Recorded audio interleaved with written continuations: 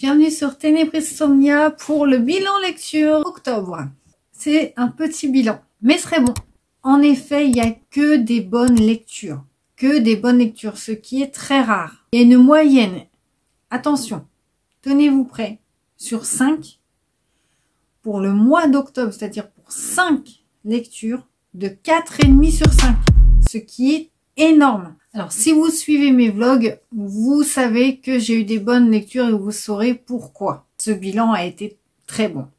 Allez, c'est parti. Donc, je vais commencer par la moins bonne, on va dire, à la meilleure. Et il y a eu un coup de cœur.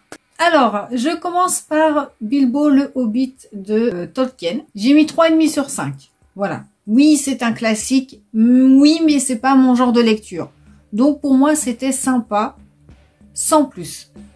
Donc là, on est avec Bilbo, comme tous les hobbits, est un petit être paisible. L'aventure tombe sur lui comme la foudre quand le magicien Gandalf et 13 nains barbus viennent lui parler de trésors d'expéditions périlleuses à la montagne solitaire, gardée par le grand dragon Smog, car Bilbo partira avec eux. Voilà, donc on va suivre l'aventure de Bilbo avec Gandalf, les nains, à la recherche de ce grand euh, dragon euh, Smog et ce trésor. Voilà. Donc c'est du jeunesse.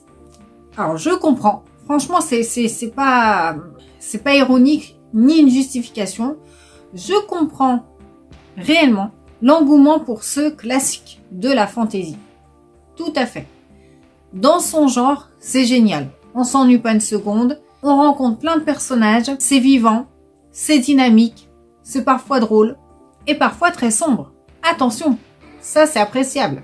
Donc voilà, j'ai passé un bon moment pour Bilbo le Hobbit, mais comme je vous l'ai dit, c'est pas mon genre de lecture, donc j'étais pas trop... J'étais dedans, mais sans... Je vous avais dit dans un vlog qui manquait de l'adrénaline comme moi je l'entends, comme je l'aime. Au moins j'ai testé, je voulais tester ce classique de la fantasy. Euh, le mois d'octobre, en, l'occurrence c'était l'automne, bon là c'est tombé au mois d'octobre, était le moment idéal et c'était parfait. Et puis on rencontre le fameux, le fameux Gollum. Bah ouais, le sinistre Gollum. Alors c'est vrai, c'est vrai. Personnage culte et mythique maintenant, mais très intéressant. Gollum est très, très intrigant comme personnage. J'ai beaucoup aimé euh, ce perso. Euh, par contre, là, je vois 1937. Pour les connaisseurs, c'est vraiment 1937 ce, ce bouquin qu'il a été écrit? C'est tôt, c'est tôt, c'est trop tôt. Ensuite, alors là, franchement, euh, les trois lectures qui arrivent, elles sont au même niveau. Voilà, j'ai fait vraiment un, pour faire le, pour jouer le jeu du classement. J'allais dire, je les, je les ai classés à mon plaisir de lecture, mais franchement, c'était égal. Donc, ouais, je fais un classement parce qu'il en fallait un. Donc là, en quatrième position arrive ma Best Friends Exorcism de Grady Hendrix. Alors là, j'ai passé, hein, on parlait de plaisir de lecture, un super moment. Pourquoi déjà? Parce que ça se lit comme de la crème. C'est génial pour ça. Alors en plus, vous avez vu, c'est très aéré. Franchement, les pages, elles se tournent. Il y a des dialogues. Franchement, c'est franchement trop facile à lire. C'était très agréable, très agréable. C'était pas prise de tête. Franchement, c'était super dans en ce point-là. On va suivre Abby et Gretchen. Gretchen, petit à petit dans l'histoire, on voit qu'elle a des comportements qui deviennent de plus en plus étranges. Et Abby, son amie, elles se connaissent depuis qu'elles sont toutes petites, bah, va essayer de, de, de savoir ce qui se passe et de l'aider. Bien sûr, vu le titre, vous vous doutez pourquoi. J'ai adoré la vibe de ce livre en fait. Il, était léger, il était sympa avec son, avec son lot de frissons quand même, mais ce que je retiens, c'est que c'était euh, très sympa à lire, très, très plaisant, très agréable, euh, très divertissant et léger dans le bon sens. J'ai passé un super moment avec ce truc et j'adore l'ambiance parce que malgré tout, il y a une ambiance quand même. Il y a une ambiance et j'adore sa vibe. Voilà. Et en plus, on est dans les années 80, donc il y a une bande son de fou. À la fin, il y a la, il y a la playlist hein, qui est mise par l'auteur. Et euh, donc elle est très très longue. On a beaucoup de bandes son donc de l'époque. Alors les filles habillées Gretchen dedans écoutent de tout.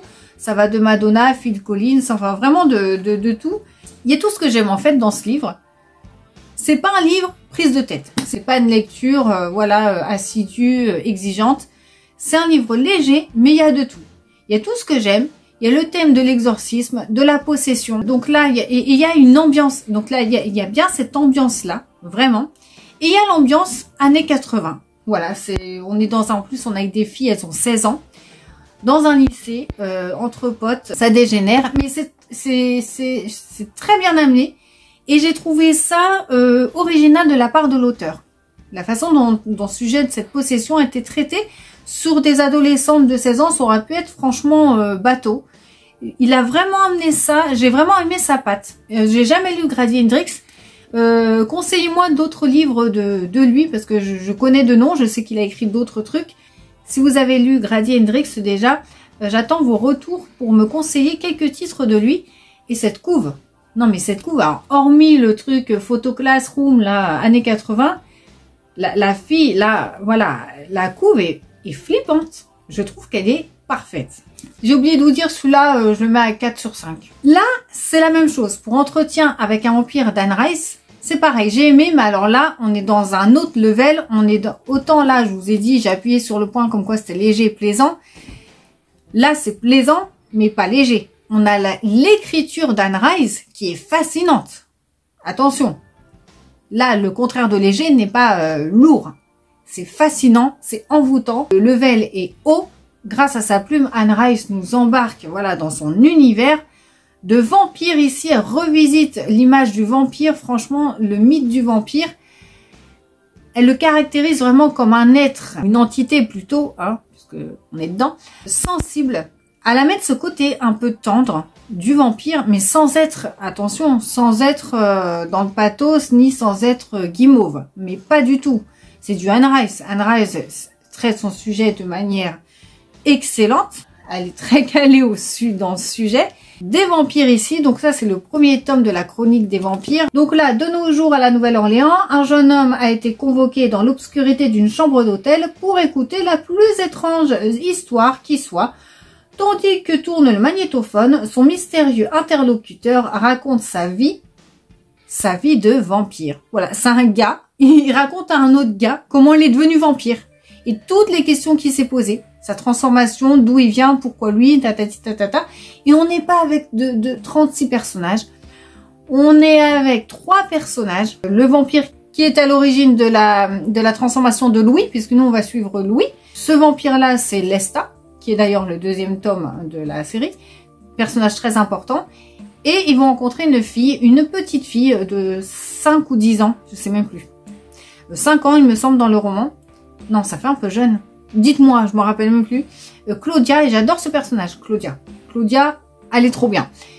Et puis, euh, quelques autres, allez, à tout casser, cinq, enfin, cinq personnages, mais on est vraiment, vraiment avec ces trois personnages-là. Et moi, j'ai, j'ai été fascinée et envoûtée par cette histoire. Encore une fois, originale. Vraiment originale d'apporter, d'aborder ce, ce, thème des, des, des, des vampires, cette thématique et vous allez me dire, bah oui, tu parles d'un livre, c'est un classique. Bah oui, c'est un classique, il le vaut. Et moi, je suis en retard, mais il le vaut amplement. Donc euh, oui, oui, j'ai apprécié Entretien avec un vampire d'Anne Rice. En celui-là, je lui ai mis, euh, allez, 4,5 sur 5. 4,5 sur 5. Voilà. Allez, celui-là, j'ai mis avant mon coup de cœur. Si vous suivez mes vlogs, vous vous souvenez de mon coup de cœur. Je vous ai rabâché avec. Mais avant, j'ai mis le livre de la mort, le tome 4 de Anonyme, donc le tome 4 de la série Bourbon Kid. Je suis fan de cette série, vous le savez, et je l'ai mis là justement en deuxième position parce que je suis fan. Tout simplement, là c'est purement, hein, c'est pas du tout objectif, bien que ce soit génial, hein, attention, euh, quand même, euh, mais euh, voilà, pour le plaisir de lecture, pour même le kiff, le kiff, le surkiff, tout ce que vous voulez, c'est plus qu'un plaisir. Là, c'était un bonbon pour moi. J'étais dans mon élément. Là, c'est un tome 4. Attention. Donc là, on retrouve le Bourbon Kid. Donc, euh, lui, il est chargé d'éliminer toutes les créatures maléfiques qui sévissent à Santa Mondega, cette ville fictive, hein, il me semble, de cet univers. Et il est très chaud. Très chaud. Il arrive à désinguer tout le monde quand il boit beaucoup de bourbon. Voilà, c'est son truc. Donc voilà, euh, livre hyper parodique, humour noir. Euh, ça va dans tous les sens, on s'ennuie pas une seconde. Euh, donc on retrouve le Bourbon Kit comme je vous ai dit. on retrouve Sanchez, beaucoup de personnages. Si vous avez lu la série, vous savez. Et dans ce tome précis, ils sont tous à la recherche du livre de la mort qui a un, pouvoir qui a un pouvoir. Il faut qu'ils le récupèrent parce que eux sont à la recherche, nos gentils à nous en fait, nos personnages habituels, parce que il y a un groupe de personnes qui a décidé d'envahir Santa Mondega. Voilà. D'envahir Santa Mondega et de faire un carnage. Voilà, tout simplement. Et ce sont des vampires, il me semble. Un bonbon, une kiffance, une kiffance. Je sais même pas si ce mot existe, on s'en fout. Alors celui-là, euh, par affection, j'ai mis 5 sur 5. Attention, on passe au coup de cœur. Alors, juste une parenthèse. Déjà là, il y a 5 livres, donc mon bilan est très bref, mais il est encore plus bref puisque c'est, comme je vous en parle de mes lectures euh, assez au long des vlogs, là c'est juste une rétrospective, c'est vraiment un, bilan succinct. Euh, c'est surtout pour faire le, classement, le jeu du top flop. Euh, je vous redis un peu mes retours euh, brefs des lectures, hein, ça sert à rien de revenir en détail dessus. Là c'est pareil, hein, je vais pas vous bassiner avec ça, mais mon coup de cœur, les bébés de la consigne automatique de Ryu Murakami. Voilà, tout simplement, alors là c'est 5 sur 5 forcément, donc plus, c'est coup de cœur. Lui, vient carrément, euh, ses coups de cœur de ce, de ce mois, mais carrément euh, bousculer mon top 5 euh, général. Ce livre m'a m'a bouleversé dans tous les sens. Du... Il m'a, il m'a, j'ai pas le mot, il m'a frappé. Il m'a frappé vraiment. Il a tapé juste, même plus, plus que ce que j'imaginais. Vraiment, bah c'est c'est c'est principe d'un coup de cœur. mort. celui-là, je misais beaucoup dessus. Là, je sais pas si vous voyez avec la la lumière, hein, c'est pas grave. Je misais beaucoup dessus et j'ai été encore plus surprise que ce que j'imaginais. Voilà. C'était magnifique. C'est pas le mot, mais pour, euh, pour mon appréciation, l'a extrêmement bien fait. Fait 500 pages, mais j'ai lu ça. J'étais à fond dedans. J'étais à fond dedans. Donc là, euh, voilà, on est avec deux orphelins. Voilà, ils ont été abandonnés à la naissance dans des consignes automatiques, donc euh, en fait dans des petites boîtes. Voilà, on les a récupérés par chance. Par chance, on les a récupérés parce qu'ils sont. Il y en a un qui a été jeté à une poubelle, l'autre je ne sais plus. Ils ont été récupérés et donc envoyés en orphelinat. Et euh, ils ont grandi ensemble dans cet orphelinat. Et on va suivre leur destin. Leur destin de tout petit, donc jusque jusque quand ils font leur vie, leur vie.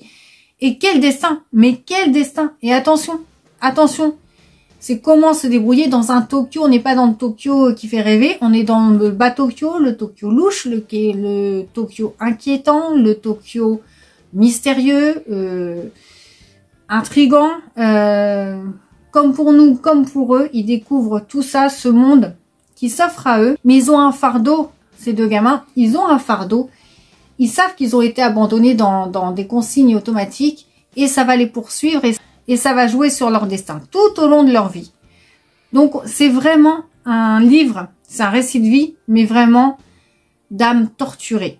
Euh, torturée.